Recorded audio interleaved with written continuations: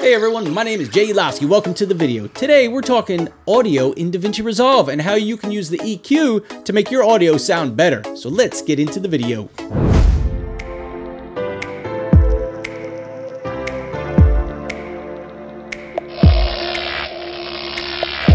All right, so I've already gone ahead and created a sample clip that we can use and I've brought it into DaVinci Resolve, set it up, and we're gonna jump over into the Fairlight tab so we can start working with our audio. Now just real quick, a lot of what we're gonna do here with the EQ and with just audio in general is very subjective to how you hear it. There's some basic concepts that we're gonna go over and uh, things that you can do and places to start, but every piece of audio from every different microphone is always gonna be a little bit different. It's never gonna be the exact same for each situation that you have. So another thing to keep in mind as you are listening to your audio, a lot of it is going to be dependent on how good your speakers are, or maybe you got a pair of headphones. I would recommend a good pair of studio monitor headphones. These are a Sony pair, they're MDR-V6. I've had these for years, they're awesome, I love them, and they really give you the full range of sound. If you're just using the speakers on your computer, you might not notice too much of a difference because a lot of times the speakers built into your computers are not that great.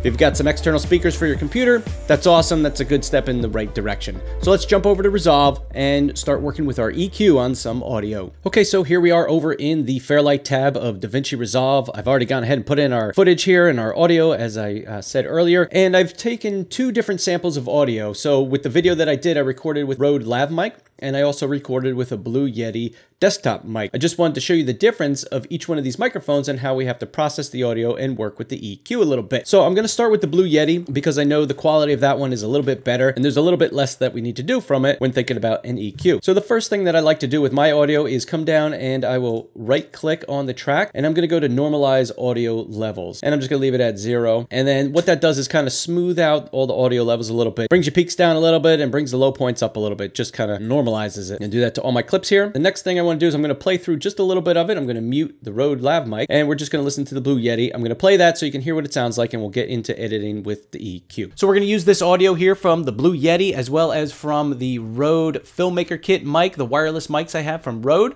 And I'm going to show you how you can use the EQ within DaVinci Resolve to help your audio sound better. And I'm using the two different mics just to show you the quality difference between the two different types of microphones. We have Okay, so there's a little sample of what it sounds like. It's not too bad. The Blue Yeti actually does sound pretty good without any kind of uh, audio processing on it, but there's still some things that we can do. Okay, so I'm gonna come over to my faders over here. I'm gonna look for the EQ and I'm gonna double click on the EQ. And that brings up our EQ dialog box window here that lets us make all of our adjustments. So the first thing that I always do is I turn on band one, which is my high pass filter, and I'm gonna bring that up to around 100, 105, no more than 110 at most. What this is gonna do is cut out all the low pitch frequencies that we don't need with a vocal track. Low pitch frequencies are normally like your bass guitar, and but we don't need that with our vocals. The next thing I'm gonna do is come up to our band six, I'm gonna turn that on, and that's gonna be our low pass filter. So that's gonna cut out all these real high frequencies that I don't think we need with our vocals. I usually set that around 14,000 something and uh, we can always adjust it as we go, but it's just a good starting point. So with those two little things adjusted, I'm just gonna play a little bit of it so you can hear how it's sounding now. First, I'm gonna start with the EQ off, then I'll turn it on after a few seconds and you can hear the difference. And again, if you have headphones or if you have good speakers for your computer, you're gonna notice these things a lot more than if you were just listening to the audio through your computer. So we're gonna use this audio here from the Blue Yeti as well as from the Rode Filmmaker Kit mic, the all right, so I don't know if you noticed it, but it definitely pulled out a little bit of the low end bass there. So I'm liking that. So the next thing that I do is I usually come up around the 1000 to 2000 kilohertz range. And that's where you're gonna find sound that you might not like too much. Now, how do we find out where the bad frequencies are? To do that, you want to boost your Q factor way up, and I'm using band 4 here, but you can use any one of these other ones. It's, and that's just going to reduce the width of the frequencies that I'm changing. I'm going to then bring it all the way up to the top. I'm going to play through the audio, and then I'm going to sweep across the frequencies, which just means grab your number 4 point here and just sweep it back and forth until you find something that sounds a little off. And once we get to that part that sounds a little off, I'll drop that out, and that'll cut that frequency out so that we don't have any anything that we don't like the sound of in our audio clip. So let's do that. I'm going to play through the clip, I'm going to sweep the audio, and we'll find a bad spot. So we're going to use this audio here from the Blue Yeti as well as from the Rode Filmmaker Kit mic, the wireless mics I have from Rode. And I'm going to show you how you can use the EQ. So it sounded to me like there was a little something funky going on here as well as down over here. And I'll adjust this part in a little bit. But for right now, I'm going to grab that number four and I'm going to take the gain and I'm just going to drop it straight down. Now I'm going to try listening to it and see how it sounds from the beginning. I'm going to turn off the EQ and then turn it on partway through so we can see the difference. So we're going to use this audio here from the Blue Yeti as well as from the Rode Filmmaker Kit mic. Okay, so I think it just cleans it up a little bit. It's a little bit crisper. And a lot of these things are very subtle, but as a whole, once everything's done, it makes a good difference. So now I'm going to try and find that frequency over here a little bit between 500 and 1000 kilohertz that was a little out of whack. So I'm going to grab my number three point, boost my Q up, and I'm going to just sweep the frequencies again as I listen to it from the beginning. So we're going to use this audio here from the Blue Yeti as well as from the Rode Filmmaker so you can hear that for sure right there. I don't know if it's feeding back or whatever it's doing there, but it doesn't sound good. So I'm going to take that frequency and I'm going to drop that guy down to minus 10. Let's see how it sounds from the beginning there. So we're going to use this audio here from the Blue Yeti as well as from the...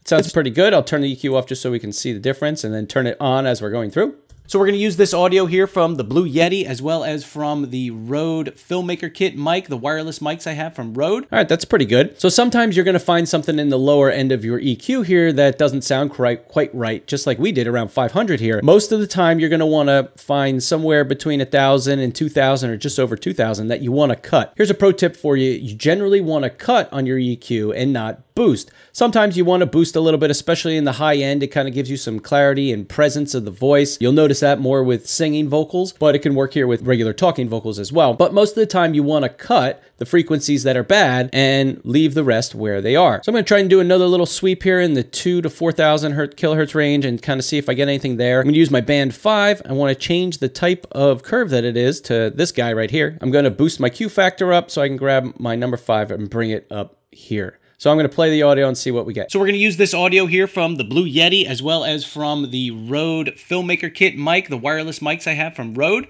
So right about there, it sounds a little hollow. So I'm going to take that and drop that frequency out too. And let's see how it sounds. So we're going to use this audio here from the Blue Yeti as well as from the Rode Filmmaker Kit mic, the wireless mics I have from Rode and I'm going to show you. So that sounds pretty clean and pretty crisp. Okay, so I'm just going to continue the, the clip from here so you can see how it sounds. To help your audio sound better, and I'm using the two different mics just to show you the quality difference. All right, so there you go. That's the Blue Yeti. I'd kind of leave that where it is. Now, if you need to adjust your volume, you come over here to your fader and you can adjust that. Or if you're in your EQ, you can boost this up and that'll raise the whole thing too. But for now, I'm just going to leave that where it is. Now let's get over to the Rode Lav mic and you're going to see the difference in the audio there. I'm going to play them back to back, our Blue Yeti edited audio here, and I'm going to play our Rode Lav mic edited here. So you know what the Blue Yeti sounds like. I'm going to mute that. We're going to come back to the Rode Lav mic and I'm going to play that to see the difference. So we're going to use this audio here from the Blue Yeti as well as from the Rode Filmmaker Kit. Okay, and then I'm just going to play the Blue Yetis, hear the difference there. So we're going to use this audio here from the Blue Yeti as well as from so you can see a big difference, a lot cleaner there. So let's start out like we did before. I'm going to go ahead and right click on the audio clip. I'm going to normalize audio levels to zero. Do that with both my clips here. Then I'm going to come over to my Rode Lav mic fader and my channel settings here. I'm going to double click the EQ. I'm going to start band one, bring that up to around 100. And I'm going to throw on band six and bring that up a little bit around 14,000. I'm going to give it a listen and see how that sounds. So we're going to use this audio here from the Blue Yeti as well as from the Rode Filmmaker Kit. Okay, so it still sounds a little hollow hollow is how I would describe the sound. It needs uh, some more body to it. So I'm going to go ahead and start with third point up here and kind of see what I could find up in this 1000 range, see if I find anything that sounds bad, and then I'm going to drop that out. Increase my Q factor, then play the audio while I do a sweep of the frequencies. So we're going to use this audio here from the Blue Yeti as well as from the Rode Filmmaker Kit mic, the wireless mics I have from Rode.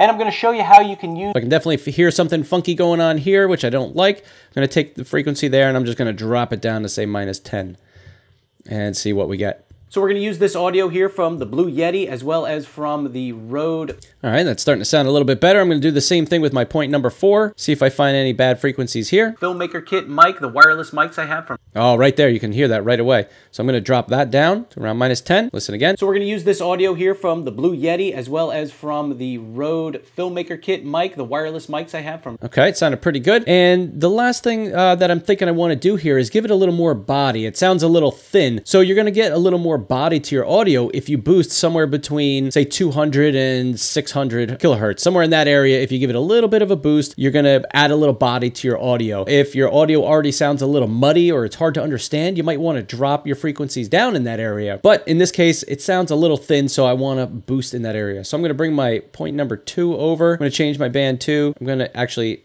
decrease my Q factor this time. And I'm to give it a little boost and play the audio and just kind of sweep it around a little bit and see where I feel like it adds weight to the to the audio. So we're going to use this audio here from the Blue Yeti as well as from the Rode Filmmaker Kit mic, the wireless mics I have from Rode. And I'm going to show you how you can use the EQ within DaVinci Resolve to help your audio sound better. And I'm using the two different mics just to show you the quality difference between the two different types of microphones. All right, I think that helped a little bit. So let's play it without the EQ, and then I'm going to turn the EQ on partway through, and you can hear the difference. So here's with EQ off, and I'll turn it on after a few seconds. So we're going to use this audio here from the Blue Yeti, as well as from the Rode Filmmaker Kit mic, the wireless mics I have from Rode. And I'm going to show you how you can use the EQ within DaVinci Resolve to help your audio. All right, so I think that definitely sounds a lot better. And now we're going to just play them back to back. We'll play the Rode Lav mic and the Blue Yeti and just kind of compare how they sound together. So here's the Rode Lav mic one more time. So we're going to use this audio here from the Blue Yeti as well as from the Rode Filmmaker Kit Okay, and let's do the Blue Yeti here. So we're going to use this audio here from the Blue Yeti as well as from the Rode Filmmaker Kit mic, the wireless mic. So there we go. I think adjusting the EQs on both of those audio tracks helped out a lot in making the audio clearer, easier to understand, but that's kind of like a real basic way that I would start to edit your audio. Now there's a lot of nuances in how you can adjust your EQ to pull out frequencies and different kind of things, but I just wanted to give you a quick, easy overview of a couple settings and a couple things you can do to start making your audio sound better right here in DaVinci Resolve. So in another video, we'll get into some other things you can do with your audio to help clean it up and make it sound even better. But for this video, EQ is where it's at. So thank you guys for watching. If you're into photography, Photoshop, Lightroom, and even a little bit of video and video editing, consider subscribing to my channel. And I'll see you in the next video.